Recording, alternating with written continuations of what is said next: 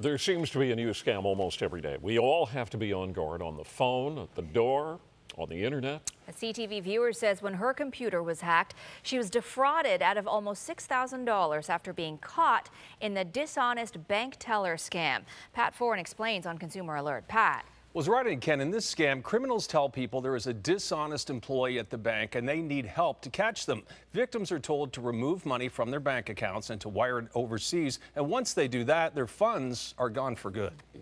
So you were ready to help the bank catch a bad employee? I was. Joanne Lake says last month she got a call from someone claiming to be with her bank, saying there was a problem with a teller stealing money from her account. They said they were investigating a person in my bank branch, and they had placed the money back in my account that was taken out. And they needed me to help them. The scammers asked Lake to withdraw almost $6,000 from her bank account and wire the funds to India. They told her when someone went to pick up the money, they would then know who the criminal was working at her bank branch.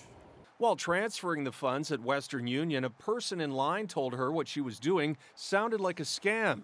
At that point, she had already wired $5,900. Lake believes her computer was hacked by cyber criminals who got her personal information.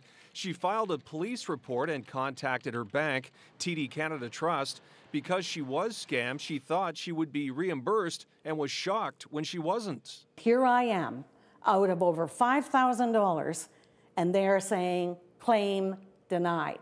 CTV News contacted TD Canada Trust. A spokesperson told us, We have no reason to believe there was an error or oversight on our end. However, we'd be happy to discuss the situation with the customer directly.